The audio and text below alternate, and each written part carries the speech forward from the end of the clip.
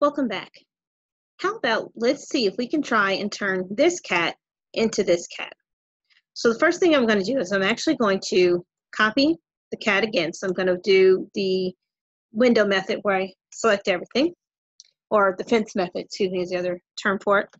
I'm going to type in CO enter for copy. I'm going to click and I'm going to now move it down to here. Here's where I'm going to do some of my edits. So let's look at some of them. First off, I'm going to do this double ear piece here. And all that is is just an offset. So I'm going to type in O, enter. And I'm going to give it a distance. I actually don't know what distance I, I made this from last time. So I'm just going to actually measure this one from over here. And then now I have my distance for these pieces. And I'm going to do it on both sides. Now that I've got that in, I'm just going to now extend this down to the actual head itself. So I'm going to type in EX and then enter. I'm going to do the um, all method where I don't actually select what it extends to. And I'm just going to do a right click. And that way, it anything that it crosses is considered a, a um, crossing piece for the extension. So I don't have to sit here and go through, well, I think I need this one, but I don't need that one, so on and so forth. It just takes every intersection into consideration. Now that I've got them all extended, it was really quick. I'm just going to do a right click and enter, and now I'm out of that command. So that's the first piece. From here, um, something else that I changed is I put in a little bit of fur into each ear. All this is was just a simple polyline. So I'm to show you how to do that. So I'm going to type in P-L-I-N-E for polyline. And I'm going to go ahead and I'm going to actually start past, because I don't want to turn my snaps off really. I mean, I could, but I'm not going to. I'm going to start a little bit past the face and I'm going to zoom in so that I don't have any um, accidental crosses or accidental um, extensions that it's hitting and I'm gonna click my first point. And the first thing it's asking me is I actually wanna make this an arc. So I'm gonna say A for arc. And I am, the next thing I'm gonna do, and actually I've got something, a box in the way, I'm gonna move out of the way here. Um,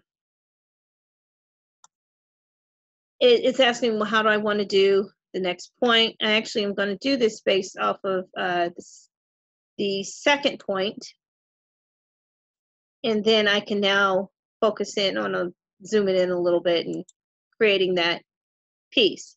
I'm going to do it again for this one. So once again, I'm going to use second point. And you saw I click down here. I can also type in S because that is the letter that is capitalized and blue. So that lets you know that that is the, the one to type in. Once again, I can control how that looks. I'm going to do it again, S enter come up a little bit more, make it a little bit bigger. Once again, zoom in and click, S enter, click.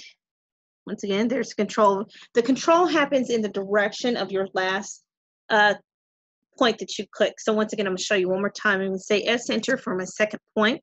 And the way you have control is you wanna keep going in the opposite direction of where you put that, that last click or that last point. Then that, that controls how this looks. And last but not least, I'm gonna do S enter for second point. I'm gonna go past, once again, doesn't work when I go this way. I need to be as if I'm extending that arc in this way. And now I'm just gonna hit escape because I'm finished. Now I've got my little furry piece. I'm going to type in TR enter for trim. Once again, I'm gonna use the all method anything that it crosses, it just automatically shows as where it wants to cut from. And there it is. Now, if you say, well, the fur's a little bit much, could I take it down? It's really simple. That's why we made it a polyline. You just click on it and pull and control how that looks from there. And then, because I like to do what I call the lazy method, or because I'm lazy, lazy, either one, I don't know, I'm going to just do a MI enter for mirror. I already have it selected. I'm going to use a quadrant as my point, my midpoint. I'm going to make sure that I'm going to click there and I'm going to take my mouse and make sure it's going straight up or at a 90 degree angle. A lot of times what I like to do to make sure that it doesn't mess up is I take my hand off of the mouse, especially when you have a wired mouse. And I make sure that I get that 90 degrees into place. If once I do, I'm gonna go ahead and click the next point. It's gonna ask me, do I erase source object? No, no, I do not. So, and that's usually the default. So I'm just gonna hit enter because it's already selected and there it is on the other side. So we're already here making some progress here on this cat. Next thing I wanna do is I'm gonna make the pupil for my cat eye, because we all know they have those weird eyes there. So I'm going to go into, I'm actually going to do an ellipse is what I did for this one. An ellipse is up here uh, inside of draw and you have a few options of how you can do it. Um, I'm going to do the axis end. So um, essentially the way that that works is I'm going to click my first point, I'm going to click my second point, and then based off of where I put my mouse, and this is all, you know, where how the radius is on this piece, that's how I can determine how wide or or small I make this. I'm actually going to click about right there. Now, the great thing about doing the ellipse is I can click and I can say, oh, well, it's not pointy enough. And I can take this in, or I can say, oh, it's a little too pointy, and I can take it out. So you have that control there once I get it to where I think it needs to be, which actually I feel needs to come out just a little bit more. I'm going to do once again the mirror tool. Type in MI, enter, find me a midpoint, which for me, for this point was actually the midpoint of my top of my nose of my arc. And once again, I've got a mirror there and I've got now the pupils in the eyes. Something else that you'll notice that I actually took the nose and I made it actually look more like a cat nose. They have a little bit of a curvature where their nostril is on the inside. So once again, I'm going to just do an arc. I'm going to add an arc in. And I'm going to do the three-point arc. So the three-point arc means, and I'm just going to go along this point here somewhere. I got it. I need to have a starting point, a radius point, and an end point. That's all that that means. Once again, because it's an arc, I can control how wide that goes. If I think it's not enough, I'll do the trim tool once again. Actually, I'm not gonna do the trim tool first. I'm gonna, I'm gonna cut out a step. I'm gonna grab this arc again, gonna do the mirror, gonna hit the bottom point of where the two pieces of this bottom of the triangle come together. Once again, I'm gonna make sure I have a 90 degree and I'm gonna click and it's gonna copy over to the other side. No, don't erase the source ob object. Now I'm going to do the trim and I'm going to do the select all method again. And then that way I can just go through and hit them both at the same time. So there we go. So now we got the nose. So like I said, it's slowly taking shape here.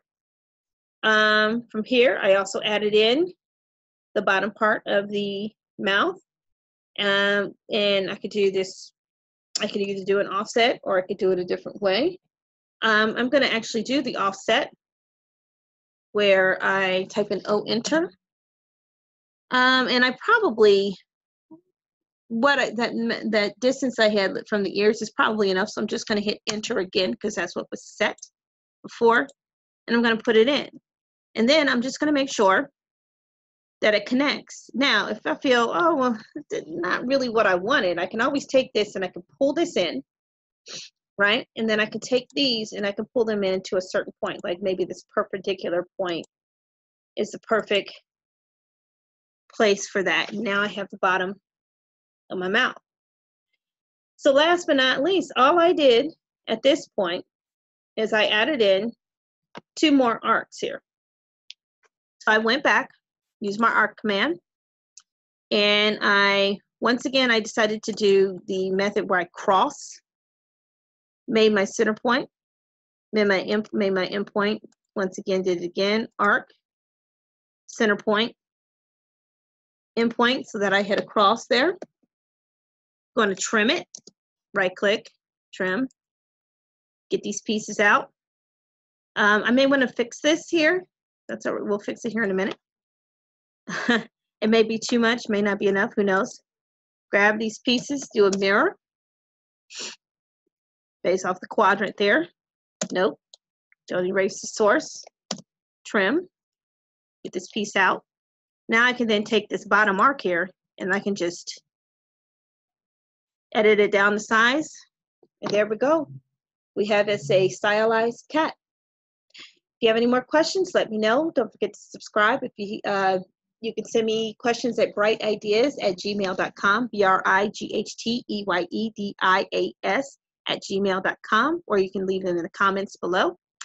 If you want to draw something else besides a building, which is what I'm going to be tackling next, and you want to know how to draw something else, like say maybe a giraffe or something else, you know, let's get a little crazy. I can show you how to do those drawings as well. Thanks again.